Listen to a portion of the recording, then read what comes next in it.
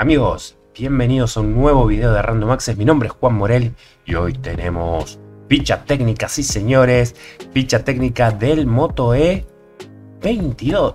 Sí señores, Moto E22, teléfono gama baja que apunta a renovar este segmento para Motorola. Hoy lo tenemos acá para desmenuzar por completo. Vamos a contar cuáles son sus specs, cuáles son sus cualidades, cuáles son este, su precio, cuál es su precio global, porque tenemos varias versiones, así que te vamos a contar de qué se trata. Y vamos a hablar del nuevo diseño, que es súper lindo y creo que valía la pena hablar al respecto. Por eso te invito a suscribirte a este canal, dale click a la campanita, dale like al video. Gracias por estar ahí a toda Latinoamérica y a toda España. Perdón que hablo bajito, estoy muy mal en cuanto a la garganta, en cuanto a la salud, pero no los quería dejar en banda con estos nuevos productos porque había un montón de productos que teníamos que revisar. El Moto E22 es uno de ellos. ¿Qué vamos a ver? Vamos a empezar por las características principales, entre ellas la pantalla. Es una pantalla IPS LCD de 6,5 pulgadas, HD Plus, 90 Hz de tasa de refresco, 270 ppi en cuanto a definición, en cuanto a cantidad de píxeles. Es una buena definición, no es la mejor en el sentido de que hay teléfonos que obviamente eh, ofrecen una calidad, por decir así, de definición mucho más elevada. Pero si vos estás pensando más que nada en todo lo referido a eh, entretenimiento como puede ser Netflix, YouTube, Twitch o incluso otras redes sociales, este, Instagram, TikTok, que tienen videos que no son ultra de ultra calidad, los vas a ver súper bien, a colores vivos, a buen nivel y aparte ya suma este detalle que mencionábamos recién de la tasa de refresco que eh, en otros modelos económicos no están y al ser un producto pensado para el mercado económico estamos obteniendo quizás un muy buen resultado con estos 90 Hz de tasa de refresco.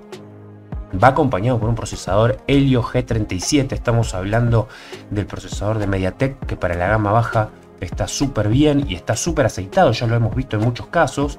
El Helio G37 es un procesador que permite todo lo que es la polifuncionalidad del celular en, cualquiera de las versiones más bajas, más económicas. Esto te hace rendir bien, por ejemplo, tener abierto Gmail, tener abierto este, alguna red social, WhatsApp y demás en simultáneo y que no colapse tu teléfono. Básicamente es esa traducción, no está pensado para juegos o para exigencia en gráficos, pero sí para este tipo de funcionalidad es súper correcto. Y como dijimos, vienen varias versiones dos versiones de memoria RAM y de almacenamiento. 3 y 4 GB de RAM, depende el que esté disponible en tu mercado, en el mercado de tu país, y 32 y 64 GB de almacenamiento, con una opción para poder agregar una tarjeta de memoria SD este, por fuera, por el slot, así que vas a poder incorporar un poquito más de almacenamiento, pero lo cierto es que vas a tener dos versiones importantes mencionarlo porque depende el importador o depende el fabricante que tengas en tu país va a depender también la disponibilidad del equipo y por cierto te dejo enlace en la descripción en el comentario fijado para que accedas a cualquiera de los productos que ves en este canal mediante Amazon, solo que queda eh, restringido a cada país, ¿no? la disponibilidad que tiene Amazon en su país. Hablemos de conectividad. 4G es la conectividad de este teléfono. Pensemos que el Moto E22 es un teléfono gama baja, económico, que no está pensado para este, rendimientos este, de altas velocidades, con lo cual la conectividad es la razonable. No es para gente pretenciosa, pero si nos, nos tenemos que agarrar de algo interesante es el diseño, ¿no? Este diseño que es muy parecido a la generación de los Motorola Edge 30 Fusion Ultra y Neo, súper prolijos, con contexto mate.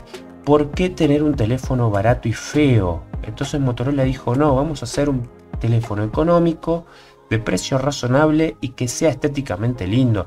Y hace rato que los Moto E vienen siendo prolijos, lindos, de buena terminación y buenos colores, por cierto. Fíjense la, la foto, les da una estética impecable. Trae puerto USB del tipo C, esto que quiere decir que los cables que vos ya tenés de los últimos teléfonos, o por ejemplo, si necesitas renovar algo, son eh, genéricos, no necesitas comprar nada extraño ni un cable especial para esto. Esto es universal, los conseguís en todos lados. Si no lo tiene tu tía, que lo guardó de un teléfono exterior o tu primo Alberto que también lo debe tener guardado en un cajón. No importa. Eh, estos cables se encuentran en todos lados y aparte de ser amigable con el puerto USB tipo C, tiene jack de 3.5, es decir, compatibilidad con auricular con cable. Sí, señores, el auricular este que vale muy poquito y que lo conseguís en todos lados y es simplemente para poder escuchar música, para escuchar radio en este caso, porque tiene sintonizador de radio FM, lo vas a poder utilizar sin problemas, no así en la generación más costosa de los Motorola, que eh, ya aclaró Motorola que va desplazando ya la, a la tecnología Bluetooth, ¿no?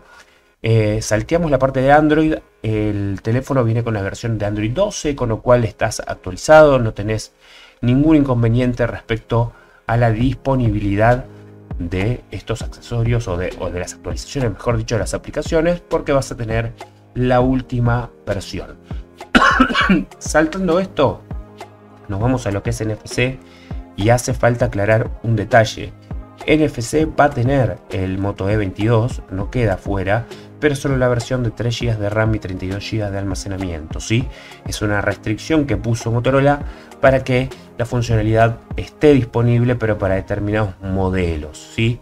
En algunos casos eh, dependía mucho más de la región, dependía mucho más de los operadores, pero acá en este caso Motorola dijo, bueno, no, lo vamos a incorporar, pero lo vamos a incorporar para uno de los dos modelos que están disponibles en el mercado, es simplemente aclararles esto para que no se vuelvan locos a la hora de buscar el teléfono y que digan, eh, che, a mí no me tocó NFC. Bueno, es por esta razón. Seguimos con eh, las características principales de este Moto E22, que para muchos es un teléfono súper correcto a un precio súper razonable. ¿sí? Batería, vamos a hablar de la batería.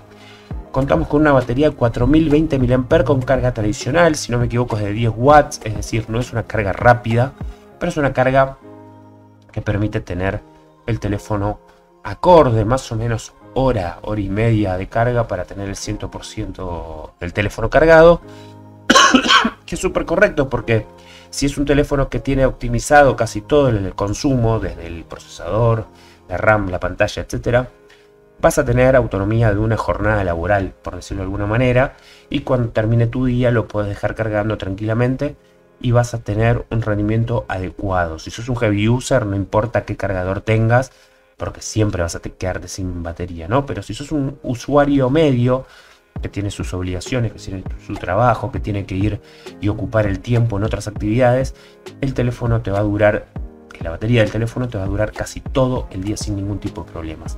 Es una batería más pequeña y es un modelo de batería que se va a empezar a repetir en Motorola y lo vamos a ir viendo, ¿sí? Ya no es más este modelo de 5000 mAh porque el diseño ha cambiado de Motorola, entonces la batería también se ha adaptado a esas condiciones. El lector de huellas está en el lateral, en la parte de la botonera. También vamos a hablar de la parte de la fotografía, que es un segmento que eh, habitualmente el usuario dice, bueno, me va a tocar lo que me toca porque estoy pagando poco dinero y no va a estar bueno lo que me toca. Sin embargo, Motorola presenta una cámara frontal de 5 megapíxeles con capacidad de filmación en 1080p y 30 fps. Estamos hablando de la cámara selfie. Es lo justo y necesario para lo que es TikTok, Instagram, redes sociales o alguna videollamada. No necesitas mucho más que esto. A veces, obviamente, los fabricantes de productos mucho más costosos se dan el lujo de que filmes en 4K o 8K, etc. Pero la verdad, un lente selfie no necesita más que esto está claro que es el segmento más bajo de Motorola también, ¿no? Eso vale aclararlo, ¿no? Y en la parte trasera dos lentes con flash LED 16 y 2 megapíxeles para lograr también filmar en 1080p 30 fps. A ver, así todo, con estas prestaciones estás empatando un iPhone SE, por ejemplo, para no ubicarte más o menos en, en la línea. Incluso lo está superando porque tiene mejores prestaciones, pero no es un producto malo, es un producto que es correcto para el segmento al que apunta y sobre todo es una renovación de generación, ¿sí?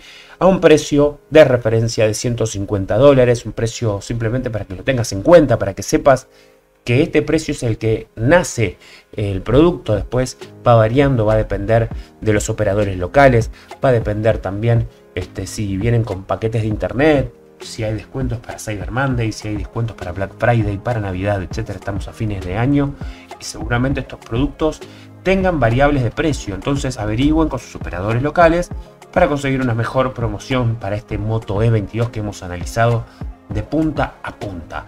¿Qué te pareció? ¿Te sirve como una opción? Es un teléfono económico que puede ser un gran reemplazo, una gran renovación para vos, pero depende de vos únicamente. Dejanos un comentario abajo en la caja de comentarios, dejaros un like si te gustó el video y por supuesto te invito a suscribirte a este canal dándole click a la campanita y dándole like al video. Mi nombre es Juan Morel, espero que les haya gustado el video y como siempre les digo, los espero pronto en un nuevo video. Adiós.